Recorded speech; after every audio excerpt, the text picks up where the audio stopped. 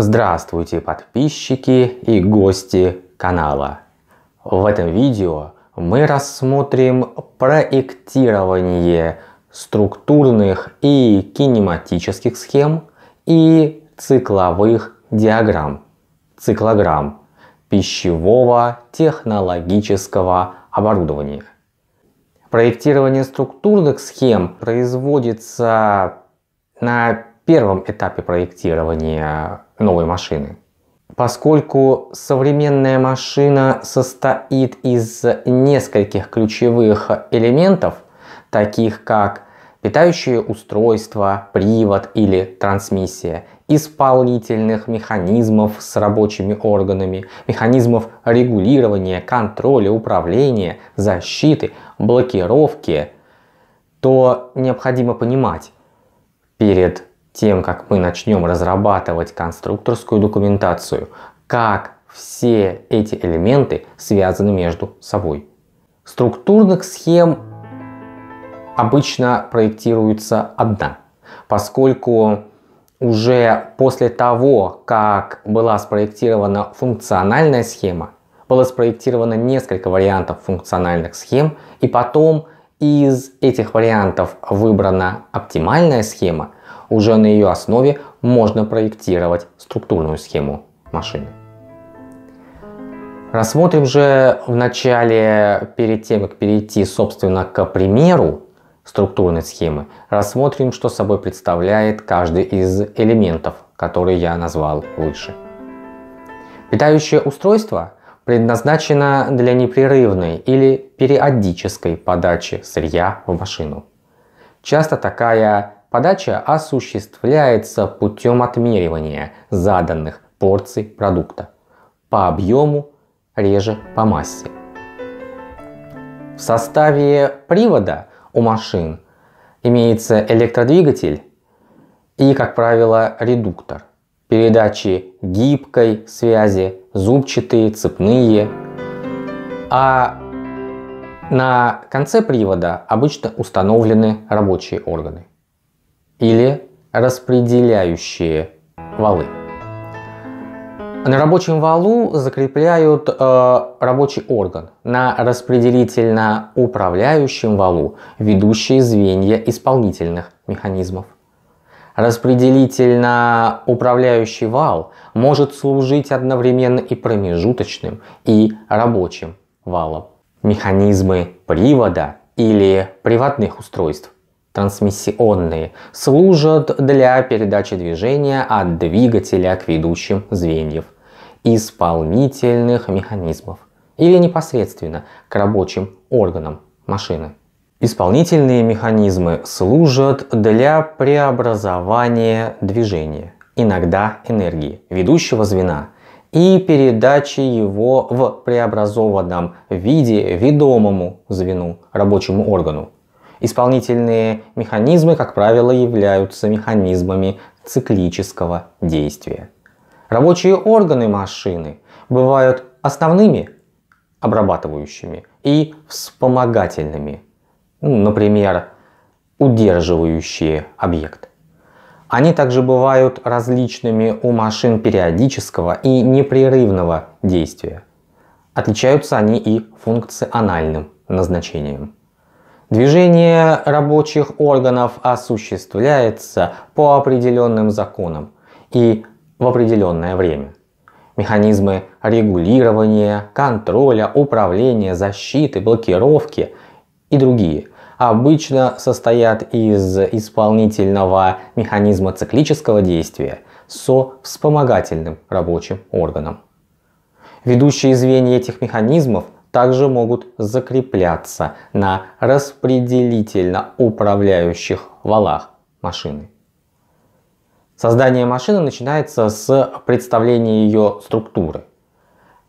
Анализ условий работы машины немыслим без знания этой структуры. Структуру любой машины представляют в виде структурной схемы.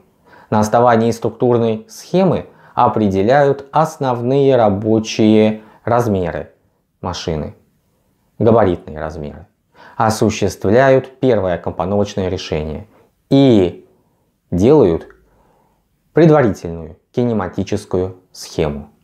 Как я уже выше говорил в начале нашей лекции, что функциональная и структурные схемы являются схемами в первом приближении, такими схемами, от которых отталкиваются при дальнейшем проектировании машины в целом. Структурную схему обычно изображают с помощью специальных знаков. Таблицу с обозначениями вы сейчас видите на экране. Как вы видите, для обозначения разных элементов и узлов используются наглядные и понятные значки. Я рекомендую вам использовать эти значки для составления своих структурных схем. Рассмотрим пример составления структурной схемы машины. Как уже я выше порекомендовал, использование специальных значков для обозначения элементов структурной схемы. Также я сейчас э, расскажу вам о том, что нанесение и соединение линиями этих значков производится в такой последовательности, чтобы соединить электродвигатель, механическую передачу или передачи с рабочим органом.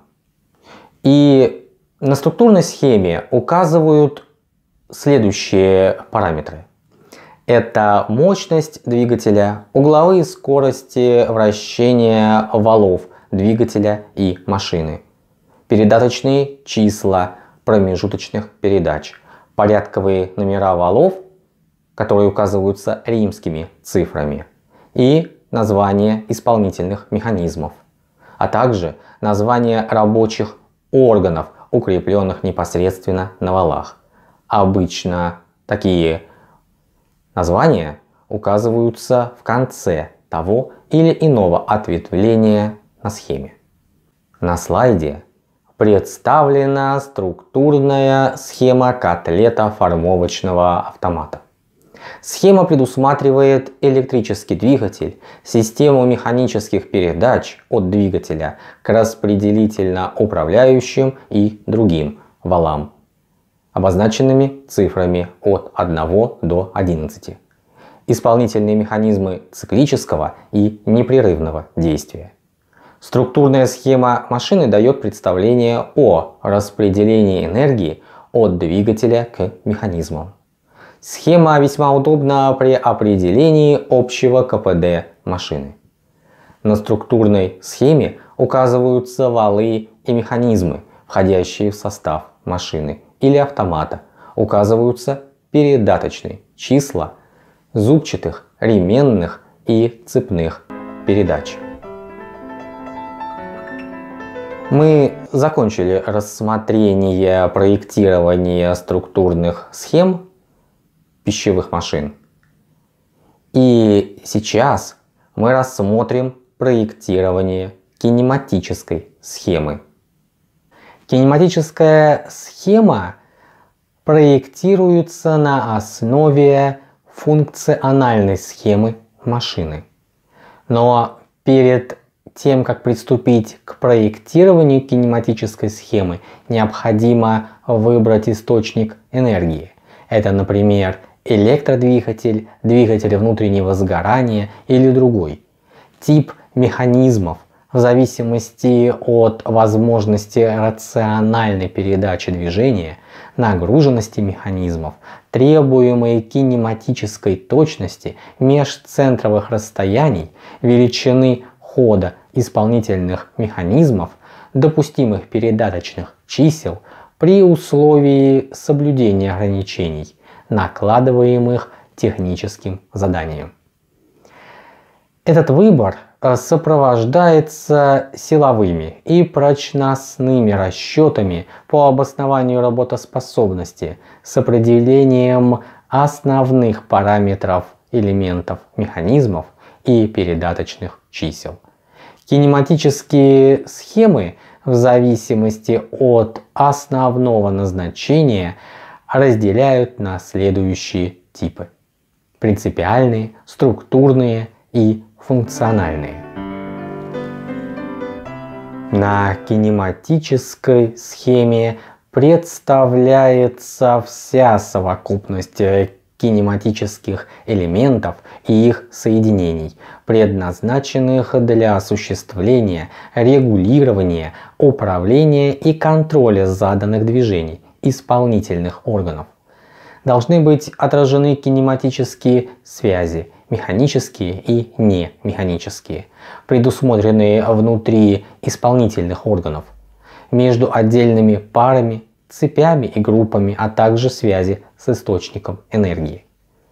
Принципиальную кинематическую схему изделия вычерчивают, как правило, в виде развертки и без учета масштаба.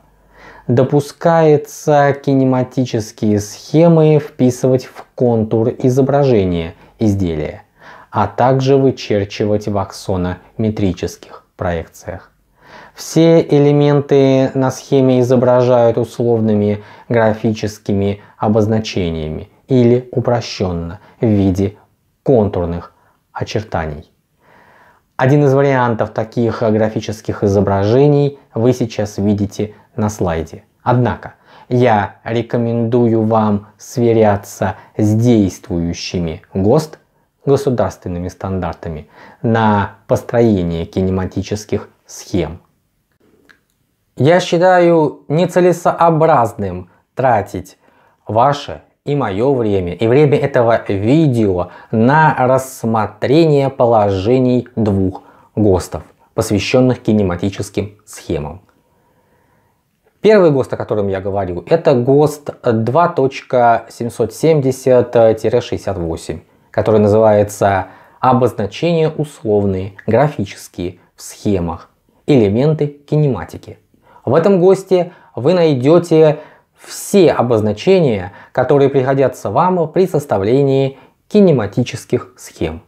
Второй ГОСТ – это ГОСТ 2.703 2011 года, который называется «Правила выполнения кинематических схем». В нем описываются подробно правила, какие линии применяются для обозначения тех или иных элементов схемы, какими линиями какой толщины и начертания соединяются эти элементы схемы, когда применяются толстые линии толщины S, когда применяются тонкие линии толщины S пополам или S на 3, когда применяются сплошные линии, когда пунктирные. Это вы все найдете в ГОСТ 2703 2011 года. А далее мы рассмотрим схему кинематическую схему двухшнекового дозатора муки, который может использоваться как самостоятельно для дозирования муки, например, в мешки, так и в составе другого комплектного оборудования. Например, для дозирования сыпучей смеси сырья в загрузочную воронку экструдеров пищевого производства мы рассмотрели с вами проектирование кинематических схем машин пищевого производства. Цикловые диаграммы применяются при проектировании машин со сложным движением рабочих органов. Цикловые диаграммы показывают, как нужно согласовать движение рабочих органов и обрабатываемого материала.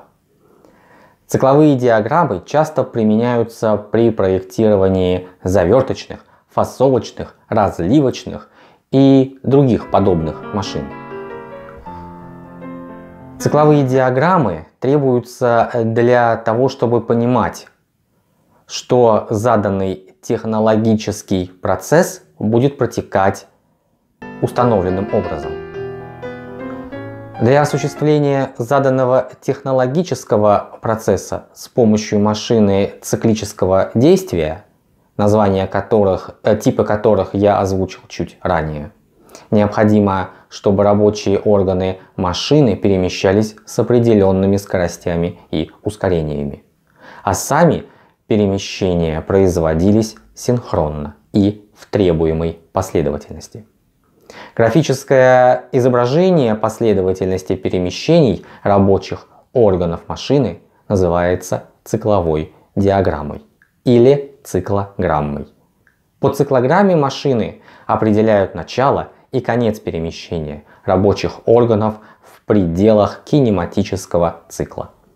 Отсчет времени всегда ведется от начала рабочего хода ведомого звена, исполнительного механизма, который принят за основной. В качестве такого механизма рекомендуется выбирать механизм, обеспечивающий выполнение наиболее длительной технологической операции. Циклы рабочих органов, управляемых исполнительными органами циклического действия, обычно состоят из следующих перемещений и остановок. Движение рабочего органа в направлении выполнения технологической операции, так называемого рабочего хода или рабочего перемещения. Время движения обозначается как ТР. Остановки рабочего органа после выполнения технологической операции или выстоя. Время остановки ТОР. Движение рабочего органа к первоначальному месту положения исходному, так называемого холостого хода или холостого перемещения. Время движения ТХ. Выстоя рабочего органа в исходном положении. Время выстоя ТОХ. Время кинематического цикла рабочего органа механизма есть сумма времени всех его состояний. При этом для каждой машины время кинематического цикла является постоянной. Циклограммы машины обычно выполняются в определенном масштабе времени, например, 1 мм содержит 1 секунду, или в масштабе углов поворота ведущего звена основного исполнительного механизма или распределительно-управляющего вала, например, один угловой градус в одном миллиметре чертежа. Так как обычно в пищевых машинах-автоматах степень неравномерности вращения распределительно-управляющего вала весьма незначительна, то угловую скорость его принимают постоянной. Тогда становится справедливым равенство. Фи равно омега t, где фи, омега и t соответственно угол поворота, угловая скорость ведущего звена и время его поворота. Обычно время кинематического цикла ТК равно времени одного полного оборота РУВ. Поэтому 2π равно омега ТК. Это позволяет изображенные в циклограмме соотношения между интервалами перемещений считать справедливыми и для соответствующих углов поворота распределительно управляющего вала. По форме отображения различают линейные, прямоугольные и круговые циклограммы. В прямоугольных циклограммах каждому перемещению рабочего органа соответствует свой прямоугольник с основанием в определенном масштабе и высотой, выполненной без учета какого-либо масштаба. В середине каждого прямоугольника помещается надпись или условное обозначение соответствующего перемещения или выстоя рабочего органа. В линейных циклограммах каждому интервалу перемещения рабочего органа, отмеренному по оси абсцисс, соответствует наклонная и каждому выстою горизонтальная линия, у которых наносят поясняющие надписи. Угол наклона линий выбирается произвольно. В круговых диаграммах кинематическому циклу каждого рабочего органа соответствует дуговая полоска, кольцевая, произвольной ширины. Продолжительность выстоя или перемещения рабочего органа определяется отрезком соответствующей дуговой полоски, заключенной между двумя радиусами, развернутыми на соответствующий угол. Дуговые полоски выполняются в определенном масштабе времени, например, 1 секунда в угловом градусе чертежа или угла поворота РУВ, например, 1 градус поворота вала в угловом градусе чертежа. Если кинематический цикл машины происходит за один оборот РУВ, то отмеренные углы являются истинными значениями углов поворота РУВ. Если кинематический цикл происходит, например, за половину оборота РУВ, то отмеренные углы по циклограмме будут больше истинных в два раза. В случае большого количества механизмов круговые диаграммы недостаточно наглядны и в них трудно ориентироваться. Поэтому большее распространение получили прямоугольные и линейные циклограммы. С помощью циклограммы определяется относительное положение интервалов циклов исполнительных механизмов в общем цикле автомата. Пользуясь циклограммами, легко определить, в каком из интервалов находится каждый рабочий орган в заданный момент времени или при заданном положении ведущего звена основного механизма. Для этого в прямоугольной и линейной циклограммах достаточно провести вертикаль через точку на абсциссе или углу поворота ведущего звена основного механизма, а в круговой радиальный луч, образующий с начальным лучом угол, определяющий заданное положение ведущего звена данного механизма. Далее рассмотрим подробнее процесс построения циклограммы заверточной машины. Для построения цикловой диаграммы заверточной машины предварительно необходимо иметь кинематическую схему. Для построения цикловой диаграммы заверточной машины предварительно необходимо иметь кинематические схемы всех ее цикловых механизмов произвести построение графиков пути по времени или углу поворота кулачкового вала. Далее рассмотрим подробнее построение цикловой диаграммы заверточной машины. Для этого предварительно необходимо иметь кинематические схемы всех ее цикловых механизмов, произвести построение графиков пути по времени или углу поворота кулачкового вала. Цикловая диаграмма заверточной а, машины связывает процесс завертки с работой ее исполнительных механизмов. Цикловая диаграмма показывает, в какой последовательности и на какое время исполнительные механизмы включаются в работу, приходят в соприкосновение с объектом обработки и когда они от него отходят, выключаются из работы. По графикам аналитически или графически устанавливают углы поворота главного кулачкового вала, соответствующие отдельным стадиям движения. Подход к обрабатываемому предмету, операцию над предметом, отход от предмета, покой в том или ином положении и так далее. Из технологических условий и выбранных схем механизмов определяются минимальные фазовые углы поворота главного вала. Затем следует максимально совмещать рабочие операции механизмов заверточных машин. Для этого графики совмещаемых механизмов должны быть построены в одинаковом масштабе. Далее следует провести ось абсцисс, соответствующую кинематическому циклу машины а вертикальную ось разбить на полоски, соответствующие отдельным механизмам, так как это показано на слайде. По оси абсцисс отложены углы поворота кулачкового вала с интервалом в π на 6 радиан. Для каждого рабочего органа по вертикали отведена полоска одинаковой ширины. Движение рабочего органа нужное для завертывания, показано в полоске отклонением сплошной линии вверх. Полезные остановки рабочего органа нанесены сплошными горизонтальными линиями.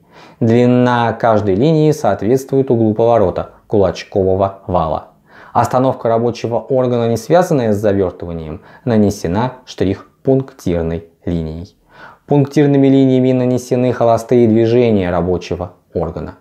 Цикловая диаграмма заверточных машин имеет большое практическое значение. Она является основным исходным документом, связывающим при проектировании технологический процесс с работой отдельных механизмов. При изготовлении заверточной машины цикловая диаграмма позволяет определить углы установки кулачков и кривошипов на главном валу, а также установку механизмов в исходном положении. Это упрощает сборку и регулировку машины. Цикловая диаграмма облегчает изучение и анализ работы заверточных машин. Вы прослушали лекцию посвященную проектированию структурных и кинематических схем и цикловых диаграмм пищевого технологического оборудования. Благодарю вас за внимание. Подписывайтесь на канал, ставьте лайки под видео и поставьте колокольчик уведомления и выберите все уведомления, чтобы получать уведомления о новых видео. Впереди нас ждут новые видео, посвященные проектированию пищевого оборудования. Желаю вам всяческих успехов и до новых встреч!